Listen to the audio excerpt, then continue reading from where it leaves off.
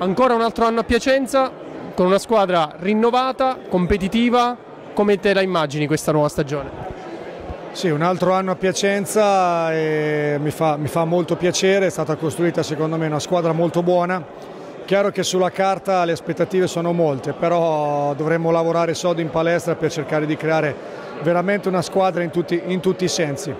Eh, cercheremo di fare bene, dovremmo far meglio dell'anno scorso perché comunque in regular season abbiamo vinto due partite, poi siamo stati bravi a qualificarci per la challenge, poi siamo andati in CEV e niente, credo che la squadra ci sia, poi dove potremo arrivare non lo so. Credo che dovremmo riuscire a migliorare partita dopo partita e poi sarà il campo a dirci quello che saremo capaci di fare.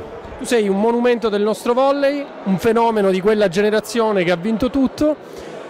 Purtroppo l'unica cosa che non siete riusciti a vincere è la medaglia d'oro olimpica.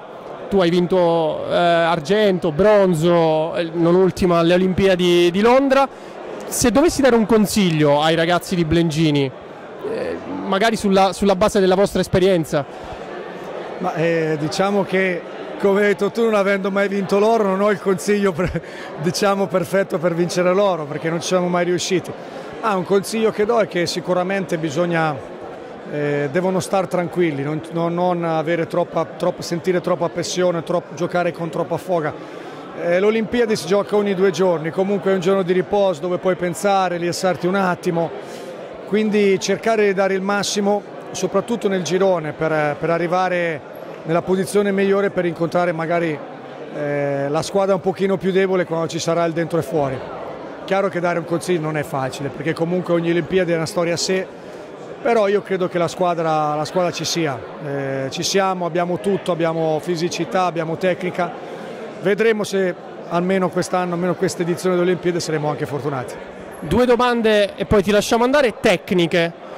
Un palleggiatore un ruolo chiave in una squadra di pallavolo. Travizza lo avresti portato? Perché Giannelli è bravo, però è molto giovane. Travizza comunque, tu ci hai giocato anche insieme.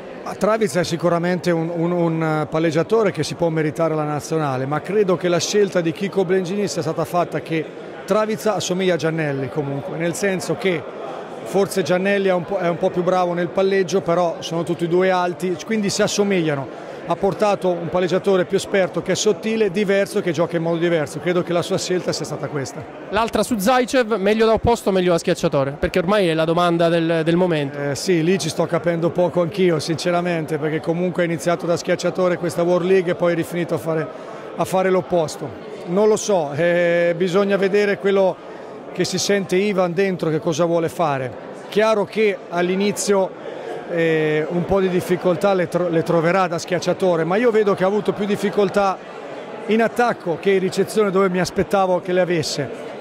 Però credo che lui possa fare tutte e due, ci vuole, ci vuole del tempo, bisogna vedere se la nazionale ha fretta e sta giocando meglio da opposto, lo faranno giocare meglio da opposto, ma io credo che quando si inizia un progetto bisogna andare avanti con quello. Grazie mille, in bocca al lupo. Crepi, ciao.